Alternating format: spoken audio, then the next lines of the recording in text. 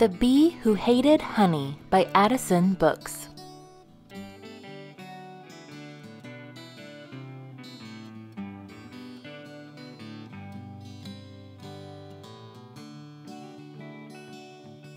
In a buzzing hive not far from an old tree, there lived a peculiar bee.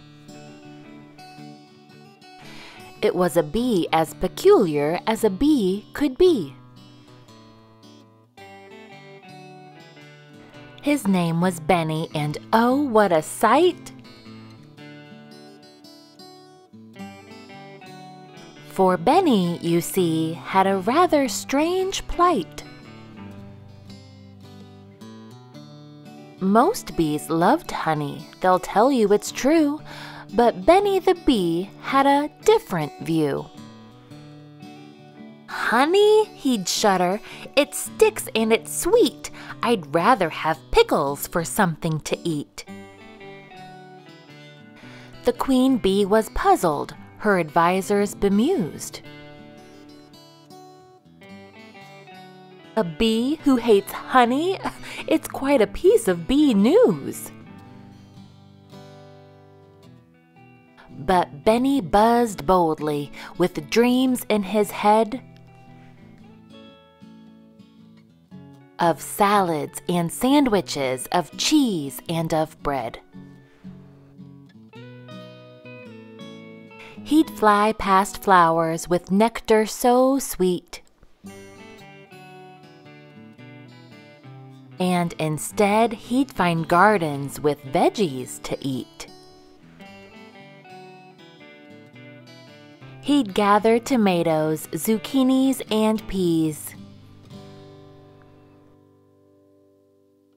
ignoring the flowers and nectar filled trees.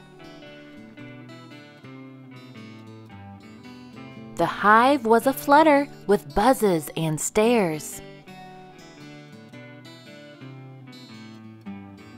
but Benny just hummed with no worries or cares.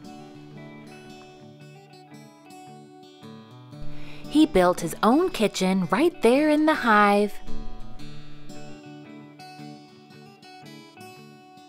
And cooked up a feast, feeling oh so alive. The bees were all curious, they peeked and they peered. But soon they were tasting, and then they all cheered. Benny's bee salad, they'd shout with delight. It's crunchy, it's munchy, it tastes just right. The queen bee then tasted and gave a sly smile. This salad, she declared, has a fabulous style. Benny was famous, a bee chef so grand all through the land they demand his bee brand. His salads, sandwiches, soups, and delights were served to the bees on the brightest of nights. And though he hated honey, as odd as it seems, Benny the bee was the bee of their dreams. He showed it's okay to be different and true. to follow your heart and to do what you do. So here's to dear Benny, the bee who knew best,